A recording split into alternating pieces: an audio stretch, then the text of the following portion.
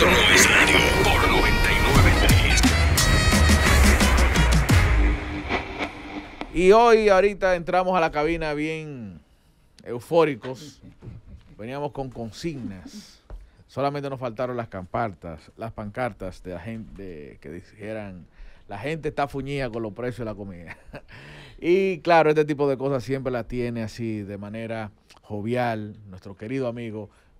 Como lo he dicho muchas veces, mi peledeíta favorito. Con nosotros, Jaime David Fernández Mirabal. Es el mío también.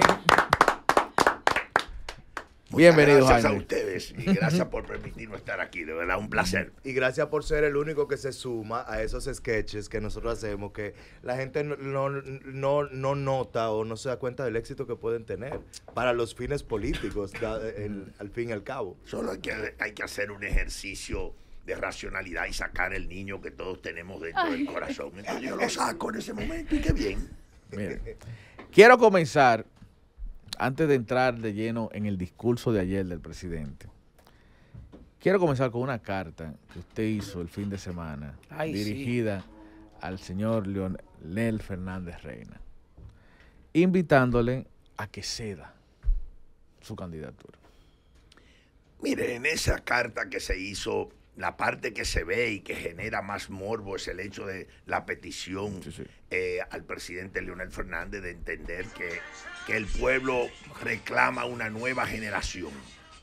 O sea, las señales que nos da el pueblo es que el, Espérese, espérese. el pueblo quiere una nueva generación política. Un relevo, nosotros un relevo. Fue una petición de generación a generación, no de ex vicepresidente, no de miembro del comité político, sí de un compañero de lucha de muchos años. La- El pueblo dominicano quiere que demos una imagen de unidad frente a una situación muy difícil que estamos viviendo, donde la gente no está conforme con lo que está pasando, pero tampoco está encantada con la oposición. O sea, no está contenta con el gobierno, pero no está conte- no, no logra enamorarse de la oposición. Es. Tenemos que analizarnos. Wow, qué O sea, análisis. siempre es es posible decir que todo fue un ejercicio de vulgaridad en la compra, lo cual es una gran amenaza a la democracia. Eso fue verdad, eso es una parte.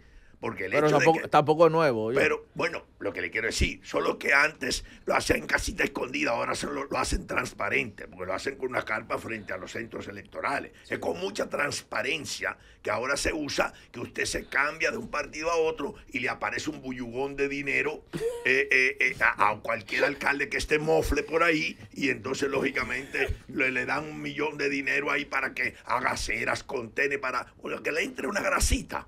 Entonces esa grasita que le entra eh, inmediatamente lo hace cambiar de idea, lo ilumina y lo hace apoyar la reelección. Creo que nosotros debemos revisarnos como sociedad, porque una sociedad que ha perdido el sentido de pertenencia colectiva y el yo es más que nosotros, una sociedad que no se organiza para impulsar o criticar o exigir o reclamar o proponer ideas, es una, ciudad que, una sociedad que se está atomizando y la atomización trae una fragmentación de la acción y la fragmentación de la acción trae el caos. Y entonces esa es la, la realidad. Estamos en una situación de amenaza. El pueblo necesita unas propuestas y nosotros la hicimos, no con el interés de polemizar, porque yo no soy el estilo de salir en polémicas, sino de hacer propuestas. Luego recibí una, una carta del ex vicepresidente donde me respondía con mucha elegancia, bueno, él hace una contrapropuesta, pero el pueblo ve que se pueden debatir las ideas. Eh, una pregunta, Jaime David. Eh, ¿Es posible hacer reflexión de lo que pesa, de lo que, de lo que implica el ejercicio del poder que se despega de lo que quiere el pueblo con tanto poder como en algún momento lo tuvo el PLD, como lo tiene en este momento el PRM? ¿Es posible? Bueno, siempre es posible, porque no, se- no el poder no puede onnu- onnubilarte del buen juicio. O sea, yo siempre he dicho que lo correcto es apostar por lo bien hecho. Pero, Pero de pasa. hecho, de- bueno, pasa de todo. Pasa de todo. o Y sea, lo hizo el PLD, quizás es la pregunta bueno, siguiente. Siempre es posible y algunas veces lo, sí- lo hizo, otras veces no. Y eso siempre tiene sus consecuencias. O sea, de alguna manera creo que esa tendencia hacia desmovilizar la sociedad en cuanto a su organización estructurada es una responsabilidad de todos los gobiernos que hemos tenido. Ahora se ha agudizado porque ahora se ha impuesto que el poder del dinero lo puede todo. No importa de dónde venga el dinero, lo puede todo. Y eso sí es peligroso. Porque entonces todo el mundo lo que quiere es tener dinero para hacer con el dinero cualquier cosa. Entonces ya hay cosas, siempre es posible analizar sí. de todo. Y hay de todo en la viña del Señor, recuérdese, políticos hay de todo en todas partes. Pero con eso que usted mismo dice de criticar la grasita que dan y que ilumine los, los, las mentes y se vuelven relacionistas, usted ti- tiene sentido de autocrítica porque el principal partido y el papá de eso por muchísimos años fue el PLD. Entonces, ¿usted critica a su propio partido con eso o no se mete ahí? Si o sea, usted- si critica a usted tiene Danilo. un ejemplo de algún alcalde que fuera cambiado en los gobiernos nuestros y que le haya aparecido mucho dinero en el presupuesto, transparentemente, usted me lo cita para yo asumir esa responsabilidad, pero no existe eso. No existe ningún diputado, ninguna autoridad electa que en los gobiernos nuestros se haya pasado y a cambio de eso le haya llegado un bullugón de dinero. Eso Pero, no es verdad. eh, o sea- o sea, lo que pasa es que apostamos, recuérdense que apostamos a la desmemoria. Y yo tengo buena memoria hasta para aprenderme los nombres. Ahora se ha querido aquí reflejar, todos son iguales. O todos que- somos iguales. Eso no es verdad. O todos sea- los médicos no son iguales, aunque haya uno que, que interne gente para cobrarle. O sea que Todos forma- los ingenieros no son iguales porque hay un ingeniero que construye obras malas. Pero en la política, como hay un interés de destruir la política, te cogen los ejemplos malos de los políticos y entonces te dicen todos son iguales. Yo, yo, Generaliza. yo- yo Generaliza. entendía que era una buena oportunidad, pero te hace una autocrítica que siempre es bueno. Yo le llamo a los políticos a hacer una autocrítica que siempre es bueno. Porque mira cómo te acaba de decir eso cuando el PLD hay muchos ejemplos. Yo le voy a dar ejemplos que sobran. No, pero le voy a dar ejemplos. yo ahora. le pedí o que me sea, diera uno de sí, esos- sí, no. esos, simplemente hay que ver, eh, simplemente hay que ver de forma formal y transparente como en los, en los años electorales subían el presupuesto, eh, en todos los años del PLD, subían el presupuesto de, de las bocinas el presupuesto en propaganda durante los años pero por no por un 200%, por mucho. Eso, Sí, es, eso es de forma eh, transparente. Es el caso que él, Y- lo y- que él te está diciendo. eh. No, pero Mire, hay mucho, hay muchos a casos. encontrar muchísimos defectos porque recuérdese que... Pero era una, una, era una, una oportunidad No, ahora no, para criticar su propio partido. oportunidad de suyo para usted criticar, Sí. pero, pero por no la oportunidad mía. Yo le dije que me cite personas que transparentemente se hayan cambiado. No me citó ninguna. Ahora, mire, señor, eh, hay muchísimas cosas. Es como el tema de la inseguridad ciudadana. ¿O es que no había inseguridad ciudadana en los gobiernos del PLD? Había. Solo que ha crecido, pero el PLD nunca se apareció con el plan Giuliani. Y, nos, ro- inclusive nos lo recomendaron, que lo aplicáramos ese plan Giuliani. El PLD de cabeza dura no lo aplicó. Pues esperábamos que este gobierno cuando llegó lo aplicara. Hoy yo le pregunto... Que tampoco no lo aplicó este gobierno. No, no, para no hacer un análisis. Yo quiero preguntarle al pueblo dominicano que nos escucha.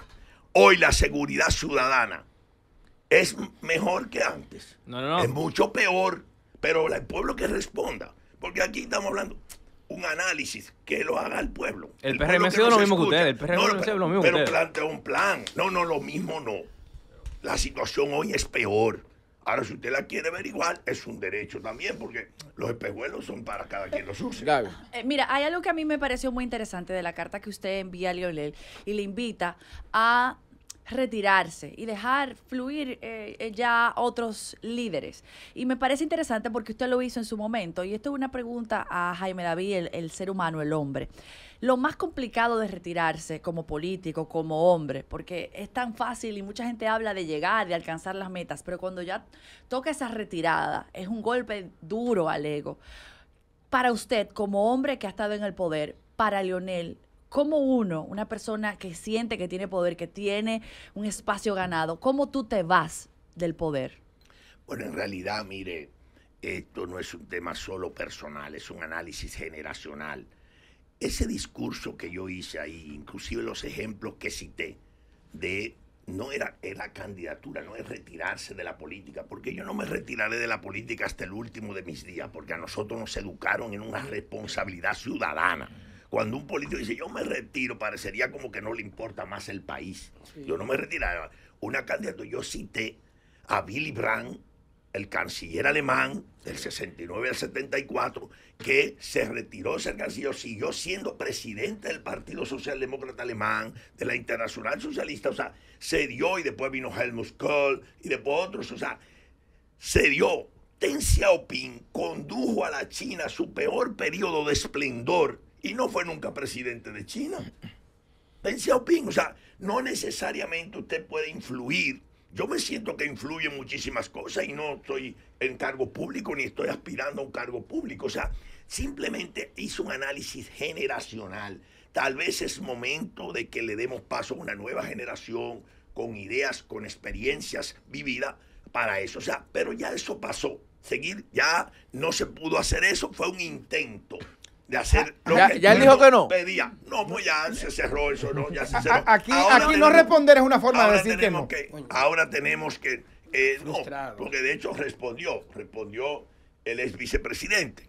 eh, Rafael Alburquerque, pero ya no es momento de que nosotros en la, en la oposición sigamos debatiendo ese tipo de cosas. Ahora es cómo trazar un plan. Claro, que- porque los que tres desde- meses se van a desde pasar. cada buscando- uno desde su cada uno desde su trinchera pero entendiendo que el pueblo está fuñido con los precios de la Pero- comida o sea pero- que, el, ple- que el pueblo no quiere a este gobierno Yo quiero- pero no se encanta con nosotros hay que presentarle propuestas para que se encante esa es la realidad Por ahí va mi pregunta. Eh, eh, haces un análisis muy eh, honesto, diría, cuando tú dices tampoco está contento con la oposición. ¿Por qué el pueblo no está contento con la oposición? Sobre todo si tomamos en cuenta que la oposición, aunque dividida, duró 20 años en el gobierno, 16 de ellos de corrido. ¿Por qué? Bueno, mire, eso es un análisis que tenemos que seguir haciéndolo, porque esas son las preguntas que nos hacemos. Ahora recuérdese que aquí todo, todo un engranaje, más arriba inclusive que el gobierno actual, que lo usa como coyuntura, creó una imagen. Recuérdese que aquí es, los corruptos nos quedamos en el PLD, aquí estamos todos los ladrones, los buenos se fueron a la fuerza del pueblo y los angelitos están gobernando. O sea, esa es la imagen que se quiere creer. Esa división la hizo. Juan Bosch alguna vez. Angelitos en el gobierno, eh, eh, los buenos se fueron a la fuerza del pueblo y nosotros los corruptos nos quedamos aquí. Eso no es así. Y el pueblo sabe que no es así. Ahora esa es la percepción que se quiere crear. Y voy a vuelvo atrás con la pregunta que decía Gaby. Ese discurso de ceder se lo hice yo a don Juan en el comité central del partido en el 94, cuando yo entendía que ya él no debía ser candidato a la presidencia. Eso, o sea, que lo que se pa- pasó en esa carta era un déjà vu. Ya el presidente Lionel había oído ese discurso mío anteriormente. O sea, yo que en un momento la gente me aspiraba, porque yo soy de lo que cree siempre que el problema no es que tú aspires, sino que te aspiren. Eso dijo Gonzalo. Y la gente me aspiraba y llegué, lo intenté dos veces, no se pudo decidir seguir siendo un militante, pero ya no estar compitiendo. Hay que entender que solo en la República Dominicana los políticos se cre- nos creemos eternos, a las candidaturas eternas en las candidaturas. Y dañan su no legado a veces por no quitarse a Por- tiempo. por- Entonces, es- fue un análisis, fue un análisis que yo hice. Ahora, seguir hablando de eso ya no tiene ningún momento, ya eso pasó. Ahora es cómo nosotros demostramos que somos capaces de atraer a un electorado que sabe que las cosas no van bien, que las cosas no van bien. Pero- Ahora, entonces, pero que al mismo tiempo decida ir a votar por nosotros. Do- No, no, Lisbeth, sí. Eh, primo, quiero preguntarte algo eh, que es de lo que Van sea. a creer que es parcializada la pregunta por ese amor que existe entre No. nosotros. Todo lo contrario. vez que te Aquí cuando dicen ni que primo, Es ya usted sabe que es un riflazo No, que no, viene. Y ve, primo, a mí y yo de Yulai. Ya- aprendí eso porque que Sergio Carlos es- es primo de- de- de Domingo Brito. Mire, no hay preguntas indiscretas, sino respuestas inadecuadas. Eh, señores, pero es verdad lo de primo. Sí, sí, Sí, Es verdad. O sea, que hay una familiaridad. Si ella le dice Es primo a otro, ya aquello es demagogia. No. Conmigo es sinceridad. Eh, yo quiero hablar de los famosos y virales videos que tú haces para redes sociales. Tú eh, vuelves a la ciudadanía loco con todo lo que tú haces, que para mí es chercha realmente, y tú te burlas de muchas cosas, y en, y en esas burlas y en esos relajos dices muchas verdades. Te hemos visto de encantador de bestias incluso y de todo, pero ¿qué pasa? Eh, para algunas personas o para muchas personas empiezan a cuestionar tu sanidad, que qué es lo que está pasando, que si tú te estás volviendo loco, ¿qué tú tienes que decir al respecto? Mira, la gente siempre dice que los psiquiatras se vuelven locos. Pero yo siempre he dicho que no, que es lo que estábamos locos, nos cogió la locura con estudiar psiquiatría. O Exacto. sea, ya lo estábamos antes. Cada quien, eh, yo dije un día aquí que la vida es como el arte, cada quien la interpreta a su manera. Cada quien puede prestar un gesto. Alguna gente dice, "Viste, que, que hace este loco viejo? Este viejo debiera irse a su casa ya. Yo saco el niño que tengo dentro, paso en el caballo por debajo de una mata de campana y ahí nos encampanamos y seguimos corriendo y digo, se me suelen cosas, pero en realidad es la jocosidad de la política. Hay que mostrarle a la mejor, sociedad que lo que no puede dejar de ser es que usted sea indiferente a la política. Pero sin embargo- Porque a nosotros nos educaron con que había una responsabilidad política. Si usted es indiferente a la política, no, yo no me meto en eso, son todos unos ladrones. Usted está dejando que el espacio lo ocupe lo peor y lo más mediocre de la sociedad. Yo Y yo no puedo permitir, entonces trato de hacer, de ser yo, porque yo he decidido apostar a la felicidad y la felicidad Bien, es bien. ser uno. Admirable. Ahora si a una gente no Muy le bien. gusta, lo siento. Ahora yo no creo que le haga daño a nadie. No, Pero ¿dónde no, no. estuvo pero- ese niño todos los años anteriores que vimos a un Jaime David sobrio, sosegado, eh, adusto, con planteamientos políticos, haciendo honor al apellido que lo honran llevar y que le Y precede? usted no lo sigue viendo cuando estoy hablando ahí. Ese que usted está diciendo no lo sigue viendo aquí cuando Ay. estoy exponiendo. Eh, porque lo que quiere decir, entra. antes no había redes. Yo recuerdo cuando yo era vicepresidente que nos fuimos al derrumbado por allá a darle vigilancia a Quisqueya Verde. Entonces estaban, trajeron una naranja y yo mismo me puse a pelar naranja como a mí me gusta, que sale la cáscara entera para tirarla para arriba. Y entonces Y si, ve- cae, si caía boca arriba era hembra y si caía boca abajo era macho. Y entonces yo lo hacía. Y la gente decía, esa época lo habrá hecho ese tipo. Y yo le pelaba la naranja al piloto del helicóptero, al general Altuna y al otro. La gente. Porque eso es lo que se usa en el campo, ese sentido de colectividad. Ve a ver si ahora en la cuaresma nosotros nos mandamos el platico de habichuela con dulce en el campo. O sea, esa es la vida. Si la gente lo hubiera visto dice, qué pose tiene ese político, privando en humilde. Y mira lo que hace. O sea, no, yo hago lo que siempre hice. Siempre, y cuando era vicepresidente, vuelve y le dijo, mi mamá decía, pero tú rapa la paila. Y él, pero siempre eso es normal. Eso, es lo que pasa es que hay gente que no lo entiende. Y ¿Cómo el vicepresidente? Oiga, El vicepresidente tiene que deshumanizarse. El político de alto nivel tiene que perder sus características originales para tener pose. No, no, no. Por eso es, yo siempre he dicho que en el mundo de lo anormal, lo normal parece anormal. Porque si tú en el mundo, de, todo el mundo vive de pose, el político que no quiere ser de pose, entonces es un anormal. Así es, le y eso decían- no puede ser así. Le de- le- incluso le pusieron nombre, le pusieron poser. Poser. Y los posers son aquellos políticos que se muestran yendo al gimnasio, que se muestran Brincando charcos. cocinando, brincando charcos. Entonces la gente decía, eso no es verdad, porque un político que tenga chofer no es verdad que va a cargar la funda del supermercado. Pero la realidad es que sí, pasa. Sin embargo, y aviso a, a mis compañeros que quiero, quiero hacer dos intervenciones una detrás de la otra y no tienen nada que ver, eh, una es política, la otra es personal. Pero la política, en el día de ayer, los diputados del Partido de la Liberación Dominicana se retiraron del discurso del presidente eh, Luis Abinader, pero la gente no recuerda que lo mismo hicieron en el, hace, hace eh, cuatro años aproximadamente, sí, porque fue en el 2020, lo mismo hicieron el PRM y la Fuerza del Pueblo, que en ese momento eran aliados, que en ese momento eran aliados. Y, y hago la puntualización aquí porque Ah, yo porque no sí entiendo pasó, cómo sí es pasó. posible que en aquel momento Ah, pues no, no, este no, lado era malo, pero en el 20 para ser aliados de ustedes, en ese momento sí eran buenos. Entonces yo le hago la pregunta. En el caso de usted, que No lo recordaba, ¿no?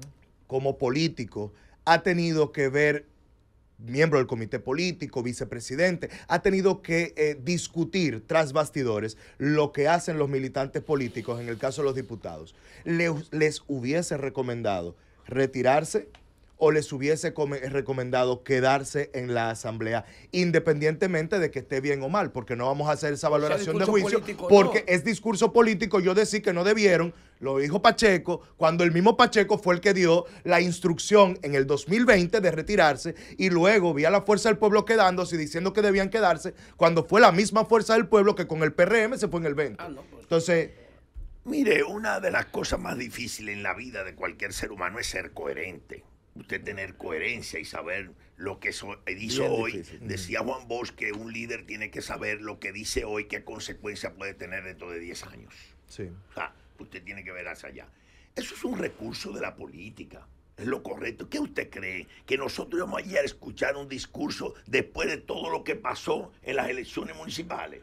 de todo esto, ese transparente carnaval de compras de cédula, de compras de voluntades. Eso es un recurso político de la democracia. Nosotros en el 1990, que yo llegué a senador, trancamos el juego en el Senado y no el- y tuvo al presidente Balaguer que venirlo a juramentar eh, eh, el, magistrado Contín Aybar, el presidente de la Suprema, porque no pudo el presidente del Senado, la Asamblea. O sea, eso es un recurso de la política. O sea, eso es una discusión política. Por eso mucha gente a veces del pueblo dice, pero mira, todos saludándose después que ayer se estaban matando. Bueno, depende de cómo usted, si no se falta al respeto, si no, eso no, o sea, el re- la política es eso. Eso fue correcto. Eso es llamar la atención de que las cosas no están tan bien, tan maravillosas, tan cristalinas y tan transparentes como se quiere pensar. Eso no, no es tan así. El pueblo no lo siente así. Esa es la realidad. Yo al final vi solamente a los políticos criticando esa acción, no vi al pueblo criticando esa acción. Esa es la realidad, de un ojo dos. Eh, por otro lado, eh, don Jaime David, yo suelo eh, acampar en la Sierra de Bauruco. Para mí es una zona muy bonita, es una zona que yo conozco perfectamente bien su territorio y su topografía. Y suelo acampar en un lugar donde están los restos de un helicóptero en el que usted se accidentó siendo ministro de Medio Ambiente en la Sierra de Bauruco, que es en la Loma del Codo. Eh, pocas personas pueden contar el haber sobrevivido a un, eh, a, a un accidente, y en el caso de usted fueron dos, ¿verdad? Fue uno siendo vicepresidente y otro siendo Wow. ministro. No, uno fue el 27 de mayo del 2009, el que Ujú. usted dice, Sí. Sene Bauruco, siendo ministro de Ambiente, y otro fue en el, el- en junio del el 12 de junio del 2016 siendo ministro de Deportes. Políticos que le han pasado esta si situación yo han fuera sido dos. preiluminado dijera estoy vivo para algo grande, ¿verdad? Cuando, cuando viene a ver, Imagínese sí. usted, sí. Cuando soy el viene a único ver, sí. sobreviviente a dos caídas de helicóptero. Cuando pero al viene a fin ver. y al cabo creo que lo importante es seguir siendo coherente. Pero me gustaría, me encantaría, porque el otro político. ¿Usted se monta en helicóptero todavía? Claro que sí. El otro político reconocido que tuvo accidente de, helicóptero fue Balaguer, pero Balaguer nunca habló de eso. Entonces, la pregunta que yo le haría a usted en este caso sería, no ¿qué se nada. siente en un momento como ese? ¿Qué pasa por la cabeza de un ser humano con poder? Porque en ese momento usted era ministro de Medio Ambiente. ¿Qué pasa por la cabeza de un ser humano con poder al verse cayendo en un helicóptero sin saber si va a poder sobrevivir? Bueno, mire, eso realmente la primera vez fue un accidente grave para el helicóptero, pero afortunadamente para nosotros ninguno tuvimos problemas. Iba el Euterio Martín, el presidente de la Academia de Ciencias, el, un coronel, íbamos 14 personas, o sea, fue... Pero no dio mucho tiempo a pensar, yo sabía, y se va a caer, y el coronel Tolentino dijo, bueno, apriétense los cinturones, pero ya, y se cayó y dio dos saltos, se destruyó el helicóptero, pues esas cabinas son muy fuertes, o sea, no creo que no me diera tiempo a pensar mucho, solo que en esa época el, el- el- no se conoció mucho ese accidente, que usted ve los restos allá, porque yo le pedí al, al general, jefe de la Fuerza Aérea, que dijera que fue un simple...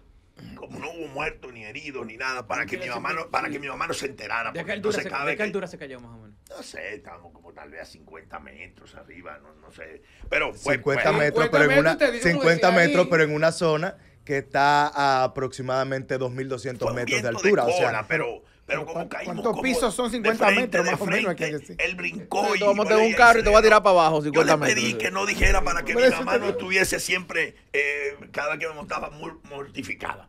Bueno, ya en el 2012, pues ahí hubo ya eh, ahí sí me dio tiempo a pensar porque estábamos altísimos y por tanto yo vi que eso iba directo a caerse. Bueno, Se despidió. yo sé, no, yo cerré, bueno, porque hay, hay que decirle a la gente, mira, yo estaba tan asustado y me, no, yo, yo cerré, me estaba pensando, ¿Cómo que un carro se caiga del cómo va a ser, cómo va a ser el efecto, el efecto va a ser porque por la caída se me va a desprender el diafragma y a la larga, bueno, eso ahí no me va a doler, ser un paro. porque Ah, usted pensó que iba a tener una muerte linda. No, linda, no, no, lo que digo, ¿cómo Rápida. pensé cómo iba a ser? Y ya. Luego cuando caímos, que yo eh, veo que veníamos, pienso, pero ya yo estoy tierra y no, y no, no estoy muerto. Ah, pero estamos dando vueltas la el, eh, cuando al fin y al cabo, cuando ya me paré, digo, hey, y digo, coronel, ¿dónde está usted aquí? Y pero yo estaba al revés, o sea, y eso, el cinturón. Lo que quiere decir, después yo intenté recoger, yo siempre llevo snack y cosas de y recoger alguna cosa, porque a las 8 de la mañana no sabíamos en medio del monte, en la cordillera central, algo iba a pasar. Lo que hice fue que recogí, cuando fui a recoger la que- eso sí se habían abierto y no tenían nada dentro. O sea, lo que yo pensé que me iba a pasar a mí le pasó a las papitas. Pero bueno, mira que eso se revertió, como dicen en el campo, se le Ah. revertió a la papita. Se disolvió en ella. Gracias a Dios que Se está con- Pero, pero Se disolvió en ella. hay que mantener la fe. Jaime, eh, Ay, una, haré una pregunta histórica. Usted tendrá todo el derecho de responderla con respeto, pero tengo que hacerlo porque usted pues es parte de lo que el país ha vivido y conoce bien la historia.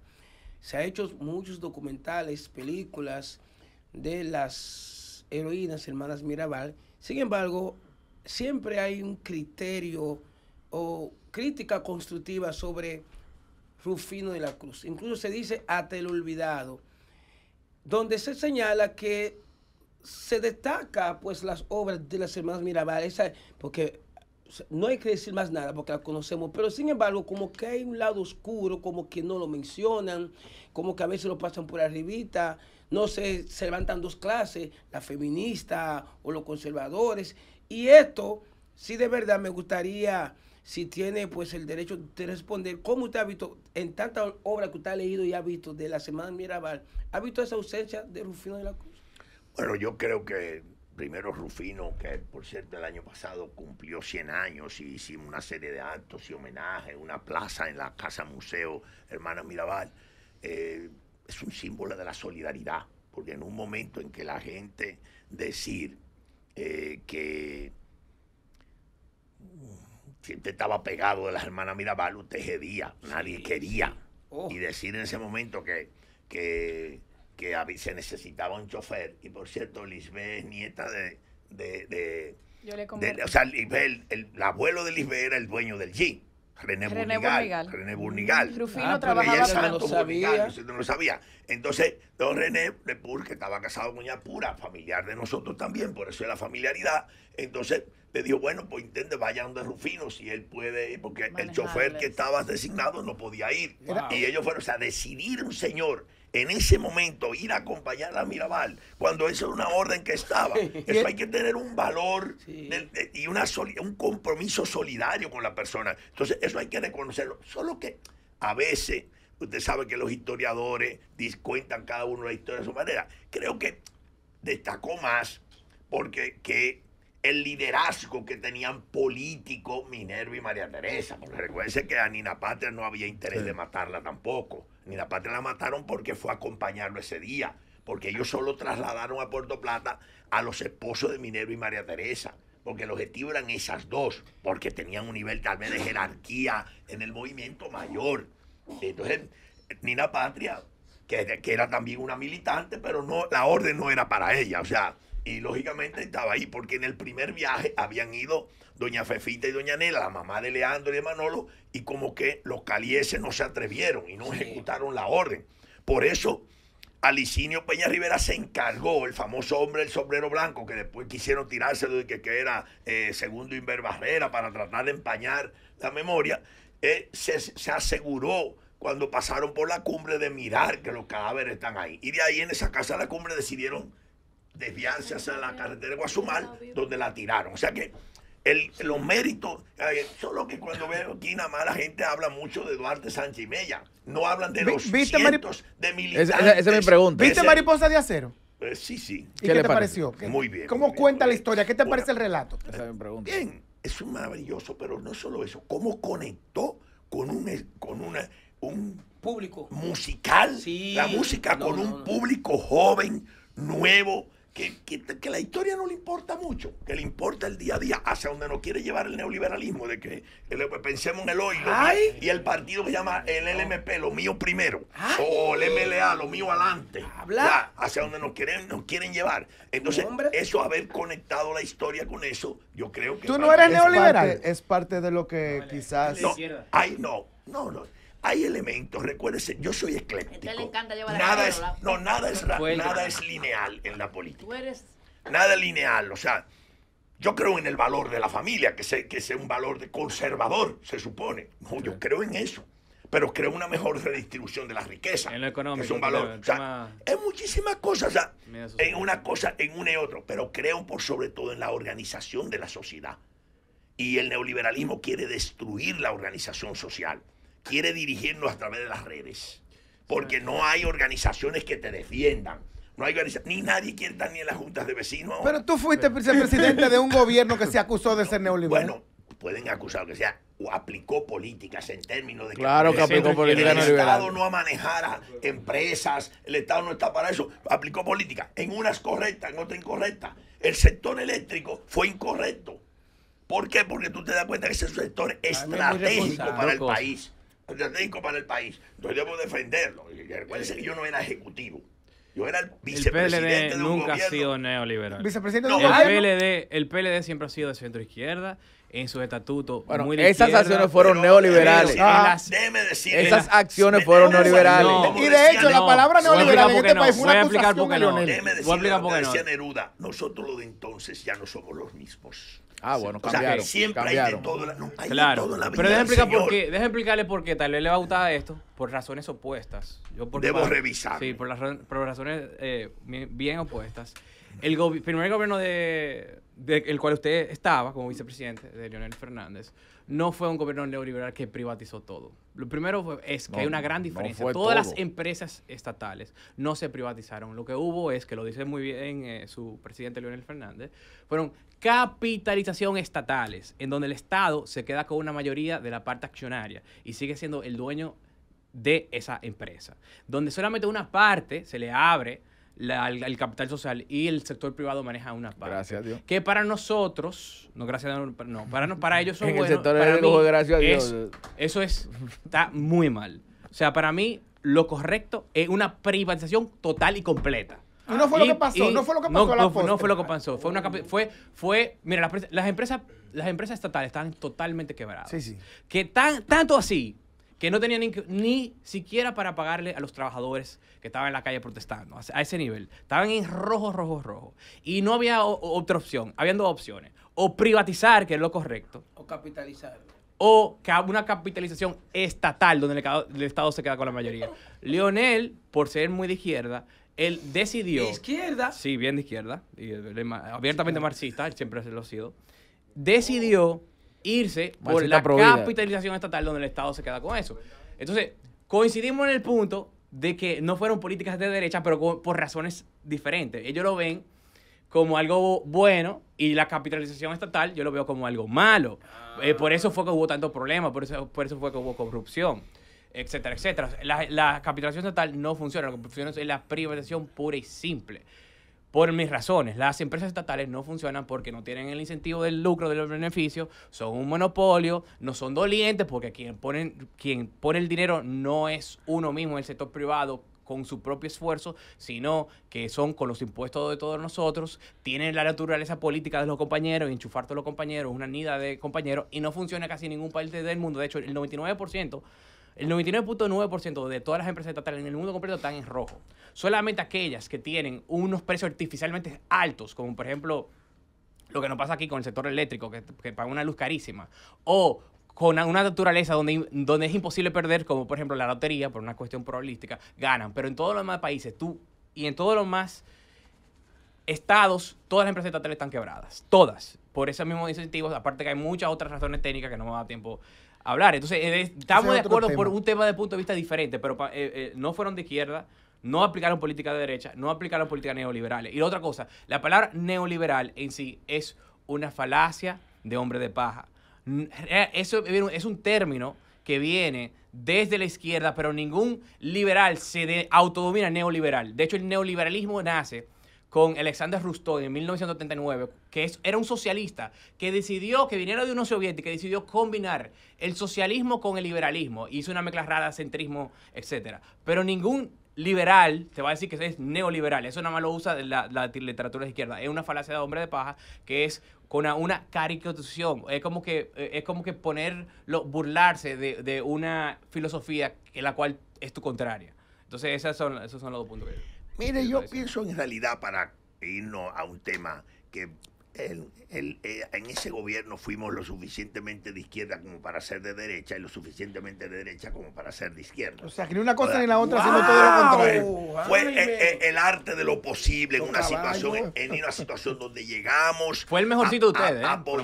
Por apoyado por el Partido Reformista o sea llegamos y decimos yo creo en una cosa para poder aplicar políticas de Estado usted tiene que tener una organización política fuerte que lo apoye Ay, sí. y los negadores del Estado, porque es una filosofía de los de paja, como dice él, y eh, puede ser, puede ser el nombre, puede ser. De los centros de pensamiento mundial que buscan fragmentar la sociedad para que nunca tengan fuerza, destruir a los partidos políticos, a los gremios empresariales, a los gremios sindicales, a todo. Lo que ha pasado en Francia, ¿verdad? que han destruido los partidos y ahora al, al presidente que se le ocurre cualquier idea que se le pueda ocurrir, como de que mandar Macron. soldados a Ucrania. o sea, a- a- a- provocar ya un conflicto más directo y una guerra mundial. Mandamos a Medio la- Oriente la-.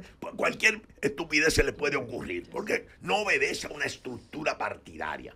Yo creo que de alguna manera es importante que nosotros recuperemos el sentido de pertenencia colectiva. Tenemos que recuperar el sentido de partido. Por eso yo lucho tanto en el PLD, que hay de todo. Porque en el PLD hay gente que yo la veo que, que tienen posiciones que me parecen de ultraderecha.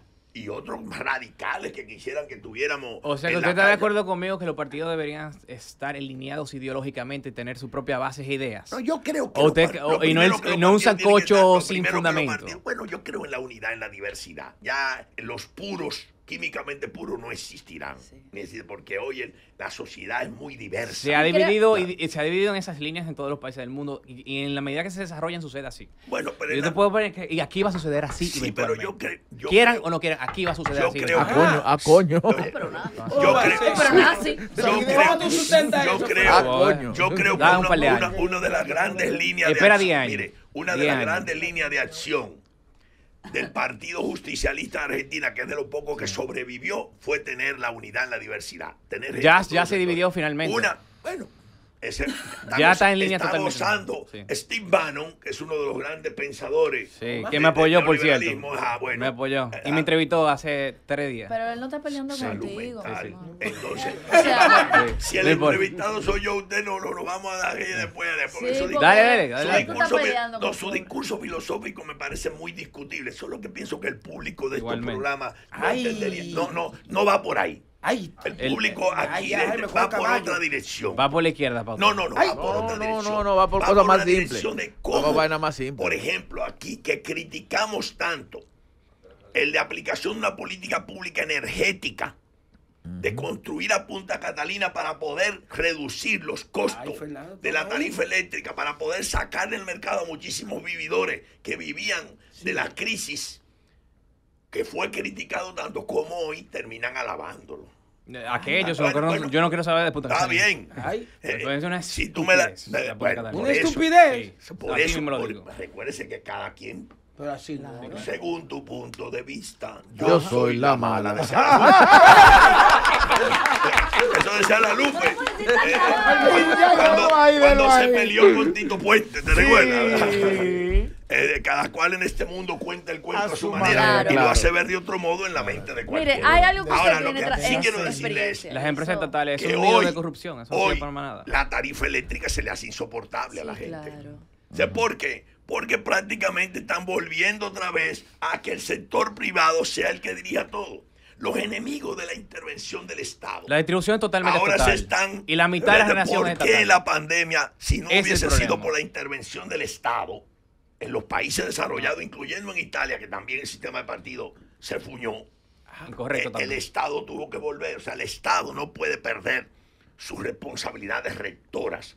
Pero ahora, como ellos lo saben, lo que intentan es que el Estado lo dirijan desde las redes sociales, de, de po- presidentes populistas que Ay. toman una medida. No, No, no, no, no. no, he hablado del caso dominicano en general. Sí. Que toma una medida y de que se le, las redes se pone, trend to- ¿cómo se llama? Trend topping. ¿cómo Sí, Trending bien. Trending Trending topic. topping. Eh, escúcheme, se me olvidó topic. la palabra. Entonces ahí dije, ah, no, cambia eso, espérate, vamos a pensarlo. sí. Vamos, por ejemplo, ahora, el gobierno que llegó en el peor momento en una pandemia, Sí, hay que una crisis decir. económica, y donde nosotros los ladrones dejamos defalcado al Estado, ¿verdad? Porque esa es la publicidad que sabe nosotros, todos los ladrones, acabamos en poca delicadeza, no, son un grupo de vándalos y todo eso, lo dijo en discurso. Entonces, ahí quiso aplicar una reforma tributaria. Y después no la aplicó. Y ahora quiere controlar el Senado de la quiere- República. quiere volver a hacerlo. eh, quiere controlar el Senado de la República para aplicarla como sea y a rajatabla. Entonces yo creo que el pueblo debe prepararse desde ahora, no esperar. Pero ustedes quieren una reforma también, ¿no? Al fin y al cabo. Ustedes también están iguales. Eso Oye es lo lo que yo digo, son todos iguales. Oye lo que decís. Somos Y- nosotros los usted únicos no que queremos reforma. No, No yo quiero, yo quiero, ¿sabes el tipo de reforma que yo quiero? Para bajar los impuestos, todo Ah, lo pero quieres contrario. una reforma pero para también. bajar Eh, impuestos, eh, no pero para subir. una pero, pero, pero lo que yo quiero es una reforma para Bajar subirlo. Reforma quién? necesaria. Bajar Para los subir impuestos. Oye, ¿qué es lo que impuestos. Pero yo quiero una pregunta. Para subir las ¿Usted tasas. representa aquí una organización o a la persona? ¡Ay! Yo represento. No a su No, no, no, organización, no, él no, representa. no, una- una- A tu Sí, sí, digo. sí, sí, no, no. Porque si yo es a una organización me parece siempre discutible, porque está organizado. Sí. Y es- lo importante es estar organizado, donde usted quiera, pero estar organizado. Si es a un pensamiento personal, ya le deseo suerte. Eh, es, pero, pero, a ver, es de una. No, le deseo suerte porque no logrará nunca tener la fuerza para... Ah, está bien. para- Va- en vamos a ese escribirlo. sentido, Ah, o sea, ajá, sí, si sí. está organizado... Mira, hablamos. Te Pero él tiene un partido. organizado. Jaime David, él que tiene te un partido. Sí, Él sí, tiene un partido. Dile el nombre de tu partido. Estamos, eh, Yo estoy creando un, pa- un partido de información. Todavía no está reconocido, pero fue este año que lo creamos. Vamos muy bien. Se llama Patria Libre. Lo puedes revisar. Mi señor nada más que aliarse con Sí. el gobierno que se lo No, se lo no, no habla con ninguno. express. Ninguno. Es- eso lo sabemos, pero Si se alía el gobierno, se lo, organiza, se lo legalizan express. eso lo. Porque Eso, ahora ahí tú te metes como... VIP. César Valentín, Eso lo sabemos, escuchaste, pero- Julio César. VIP, como en el pa- pasaporte, que usted va VIP. Eso lo sabemos, pero no nos Y vamos a así ha hablar. sido siempre, Jaime David. eso es grave. Eso lo sabemos, como le porque pasó a Valentín, yo sé. Eso genera... Mire, mi señor. Pero nosotros no yo le doy, como usted tiene ideas y trata de crearlas, aunque no estemos de acuerdo con las Sí, sí, ideas. sí. Entre en un partido. Le dañamos el grande, titular a este video. No, no, no, pecho, Ay. No, le dañamos el titular a este video ya, por hace ello. Eso es lo bonito. No, no, porque no, no, volver ¿qué a otro tirando? chiquito. Yo tengo familiares que se Este video fueron era otra cosa. ahora los pobres no. Nosotros vamos a crecer. Ya se escuchan menos. Ay, Nosotros vamos a crecer no, desde no, chiquito, no aunque, aunque duremos más tiempo, porque no nos van a reconocer el partido como usted bien dice. Bueno, si mi al menos- si mi y no nos vamos a aliar ni si a mi ustedes, ni al PRM, vez- ni a la Fuerza del Pueblo. Vamos. De tres. si mi experiencia le sirve alguna vez para cualquier cosa, para hasta para dilectar, eh, me invita a un café que yo pago. Muchísimas gracias. No, no necesitamos, pero bien.